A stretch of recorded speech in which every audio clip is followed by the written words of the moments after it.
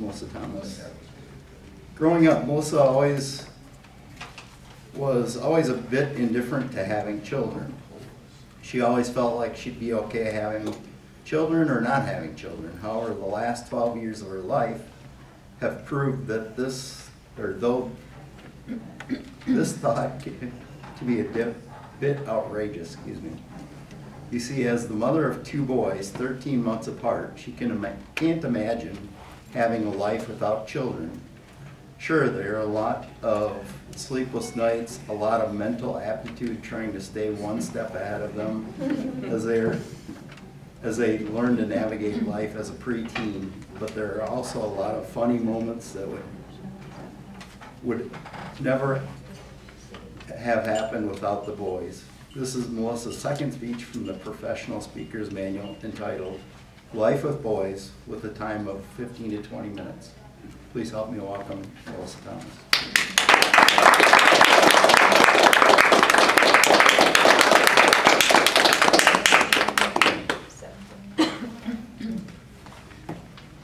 I made sure to disconnect Siri today so George wouldn't think I was talking to him. Yeah. Thank you, Mr. Toastmaster. Good morning, fellow Toastmasters, friends, guests. Two boys, 13 months apart. Did you catch that in the introduction? That means that when Braden, our oldest, was 13 months old, I had an infant at home. Don't ask me anything that happened in their first six years of life, because I have no idea. I just know that every day I woke up, took care of two kids. As, as that evolved, the boys each grew into their own different personalities. And by different, I mean as different as black and white, as different as night and day. So I'd like to start by introducing my boys to you. Braden is going to be 13 in June. God help us all. He is about, he is not about, took him to the doctor yesterday. He is five five and three quarters, which means now when I look at him, I have to tilt my head slightly upward. He is definitely in the preteen mode. Everything with Braden is a challenge. When I tell him the line stops here, he goes, hey, mom, like that. See how far across he can go across that line. He is an old soul in a little boy's body. He has always been that way.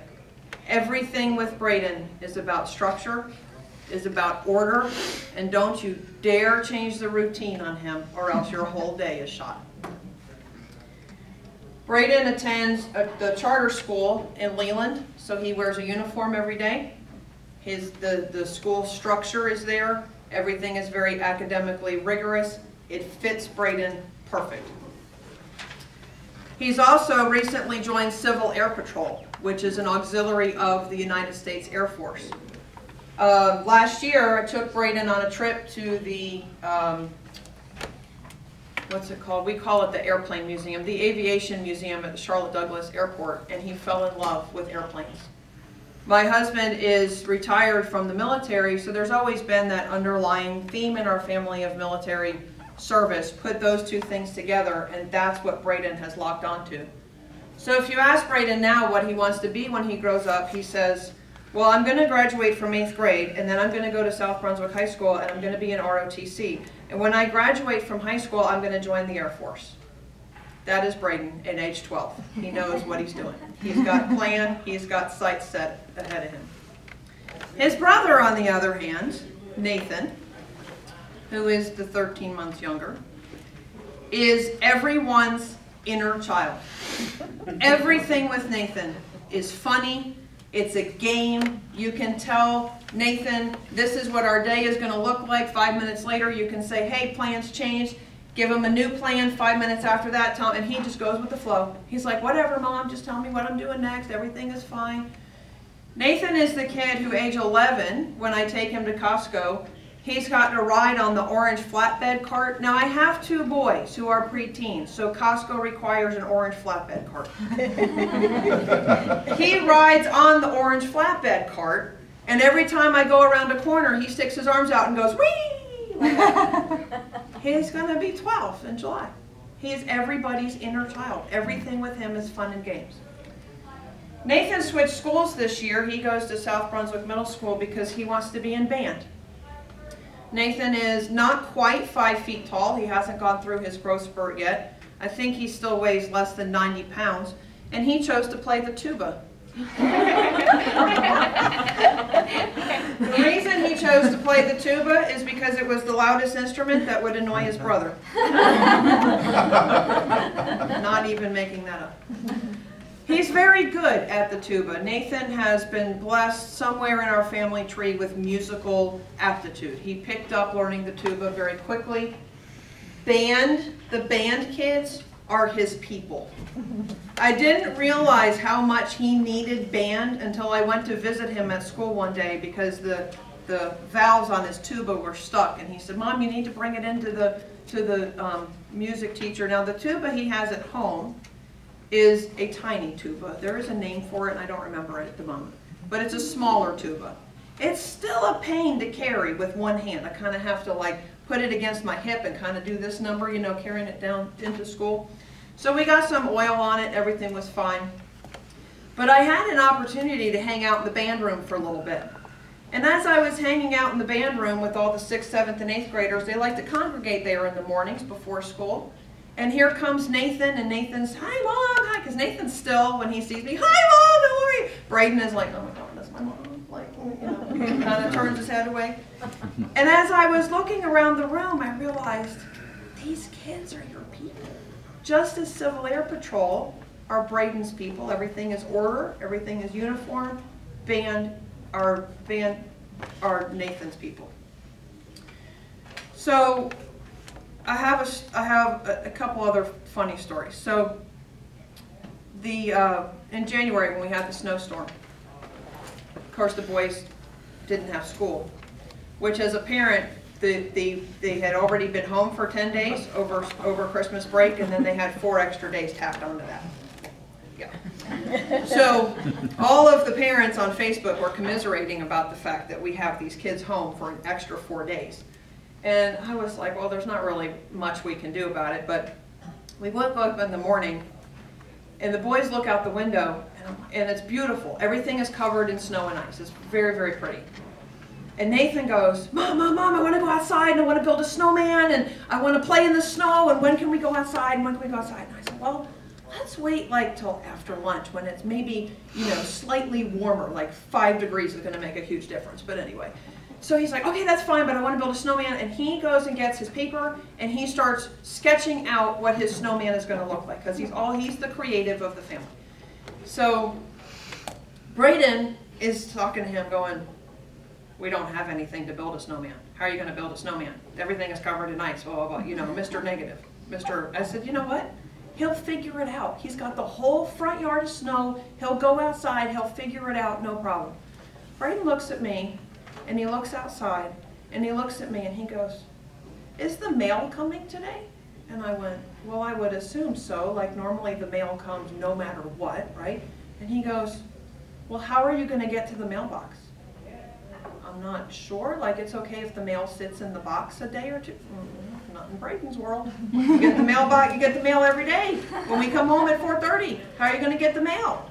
And he goes, I'm gonna go get dressed and I'm gonna go outside and shovel the driveway. I got one kid who wants to go play, build a snowman, and the other kid, Mr. Practical, I gotta go shovel the driveway so mom can get to the mailbox. okay, Braden, go knock yourself out, you know. So he does. He goes outside, he gets dressed, he gets the shovel. Mind you, it's not a snow shovel, it's a garden shovel, but you know, because we don't have snow shovels in Southport, North Carolina. Um, but he goes outside and he's and he starts shoveling the driveway. Uh, in March, I took Nathan to New York City. When I presented the idea to Braden, he looked at me and he said, there are a lot of people in New York City. Why in the world would you ask me if I wanted to go to New York City? okay, fine. We'll go to Charleston so we can do the history stuff. So I took Braden to Charleston the following week. But taking Nathan to New York City is an adventure. So first of all, you need to know that Nathan has ADD. He is the stereotypical kid. You spend five minutes with him and you're like, oh yes, this kid has ADD. So I was a little concerned about taking him to New York City where like everything was very distracting. But we, you know, it was just him and I. My full attention was on him. It was a fun trip, so we were we were good to go. First airplane ride, first trip to New York City. Now, mind you, we live in Southport. The boys have been raised in Southport their entire life. So this is the first trip to the big city. Get on the airplane, we get up to LaGuardia, no problem. We get off the airplane and Nathan says to me, so one of your friends coming to pick us up from the airport? I said, no, we're gonna take a taxi. And he went, a taxi. And I went, in my head, I went, do you know what that is? Like, I'm trying to remember like why he can't, you know, why he's asking me about a taxi. And I go, you know what a taxi is, right? And he goes, oh yeah, yeah, I know, yellow car. Right, okay, yellow, yes, we're gonna go downstairs, we're gonna get in the yellow car, and whoever's driving the yellow car is gonna take us. How are we getting the taxi? Going downstairs, we're gonna get in line. Now, in my mind, I've done this hundreds of times. I've been to the city many times, right? But everything is a new experience for him. So he's like, I'm not sure about this whole. So we get downstairs in the taxi line, and as we're waiting for the taxi, he says to me, So do we know the driver? no? Just whatever line, whatever taxi we get in? He goes, So wait a minute. You mean to tell me that we're getting in a car with someone we don't know and he's going to take us to the hotel? Yes. We don't know this person and we're getting in the car with them. Uh-huh. I'm not sure this is a good idea. I'm like, okay, well, here's the deal, buddy. We're at LaGuardia and our hotel is 30 minutes away by car, so we can't walk to the hotel. We don't really have any other option. Why can't one of your friends come? Because my friends don't have cars. We're in New York City. I'll explain that to you later, right? So he, I'm like, on that fine line between like getting frustrated with him and then trying to explain to him that this is New York City, this is just the way things work. For 11 years of his life, what has he been told? Never get in a car with someone you don't know, right? Never, ever, ever, okay? Yes. So, number, you know, that's the first mind-blowing thing that happens. So, we get in the taxi, and of course, our taxi driver is a male of Middle Eastern descent. So, and the, the which that is not a problem because the boys have been raised to, to like everybody, right? So I say good morning to the taxi driver and I say, this is my son Nathan, it's his first trip to the city, we, but we'd like the most direct route to the hotel because, you know, I know how these things work. So in his very thick Middle Eastern accent, he says, okay, fine, not a problem. And he starts talking to Nathan. Oh. And Nathan is like me, he talks to everybody, but he's like super quiet. So I lean over to him and I go, it's okay to talk to the taxi driver, like this is what we do, like he's just trying to ask you what you're doing and how, how was your plane trip, whatever. He leans over to me and goes, we're not supposed to talk to strangers. Because for his whole life, he has been told, do not talk to strangers. It's fine, buddy, we're in the taxi, it's someone we don't know. It's fine, it's not a problem. So we get to the hotel. We get near the hotel and the taxi driver says, I'm gonna drop you off at the, at the corner because your hotel is in the middle of a city block and you can just walk to the hotel. Okay, sure, fine, no problem. Feel his tug on my sleeve. What do you mean he's dropping us off at the corner? I thought he was taking us to the hotel. "Mm-mm, This is fine, our hotel is in the middle of a city block, so we're gonna get out of the taxi, we're gonna walk to the hotel, it's totally fine. Okay, so at this point, I'm really glad we've raised the boys to trust us, right? Because I have to rely on that in explaining all these things to us. So he gets, we get out of the taxi, and I said to him, one hand on the suitcase, one hand on the taxi, I've got to pay the taxi driver, don't move. Okay, now in my mind, I'm thinking, he has ADD, I don't want him to be like wandering off while I'm distracted. Okay, I had no worries about that, that kid was not going anywhere. Because when he got out of the taxi, his face was just like, like he was kind of shell shocked because all the people, we, we were staying near Times Square. So it was a very busy corner, people walking around, all the honking and all the traffic and everything. So pay the taxi driver, get Nathan away from the curb. I have a backpack on, he has a rolling suitcase. I said to him, okay, buddy, let's go. And I take a step, and as I take that step, I get the sense that he's not with me. And I turn around, and he's still standing like right here. And I said, buddy, let's go. We got to get to the hotel. We've got things to do. And he goes, Mom, I was waiting for the people to go by. And I went, mm-mm.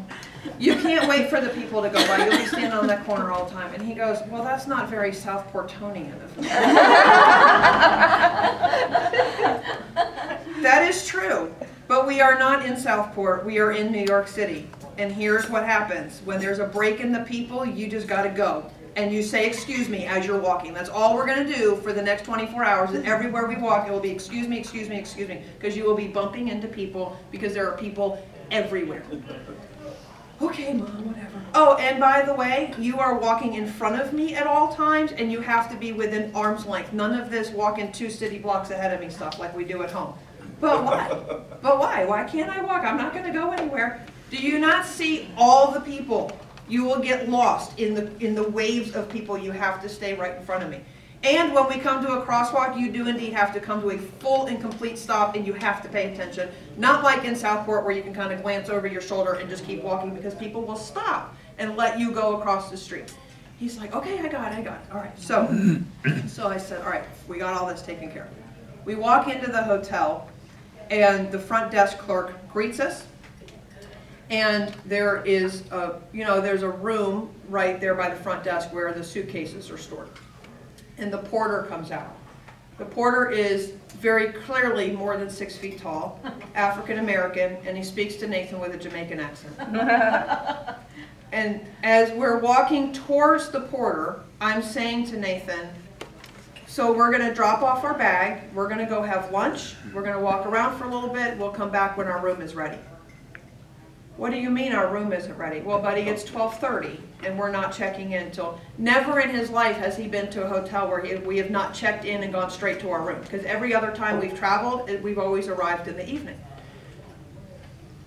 So we're gonna leave our bag with someone we don't know and go have lunch and walk around. Uh-huh. And how am I gonna get my bag back? So at this point, the porter realizes that he's a little freaked out about leaving the bag. And his very thick Jamaican accent, which I am not gonna try to imitate, he said, oh, don't worry, little man, I'll take good care of your bag. And Nathan looks up at him and takes a step back like this and looks at me and looks at the porter and he says, I'm gonna need to get some stuff out of my bag. To which I looked at Nathan and I said, no, you don't, because I packed the bag so that you don't have, everything we need is in my backpack. All the clothes are in here, you don't need anything out of the bag. And he goes, I'm a little concerned about the clothes. No, understand, it'll be totally fine. So the porter gives, explains to Nathan about the tagging process. And he shows him the tag, and we write our name and our room number on it, and he takes off the, the perforated part, and he hands it to Nathan, and he said, now, when you and your mom come back, you hand me this, I will be here. You hand me this, I will match it to the tag, and I will make sure you get your bag, and I will make sure that no one else gets your bag. And Nathan kind of looks at him, and then he hands me the tag, and he goes, you better put this in a safe place. Got it. Better put this in a safe place. So then we go, we go about our trip to New York City, and we had a wonderful time. We had, we went to the St. Patrick's Day Parade, and we went to see Frozen on Broadway. Sunday, we almost missed the flight, because you do in fact need a full two hours at the LaGuardia Airport to go through, um, security and such. And if you ask Nathan what was his favorite part of his trip to New York City, he will include in his list how we had to run through LaGuardia Airport and we were the last people on the plane. Because that was very, that was funny to him. It was stressful for me, but it was funny to him. So, my life with boys is anything but boring. I have two boys with two distinct, very different personalities, which sometimes can be frustrating, but very often leaves, leads to some very humorous moments as well. And I'm thankful for the opportunity to give this speech because it really made me stop and think about all those funny moments that will kind of override the frustrating moments as well. Thank you.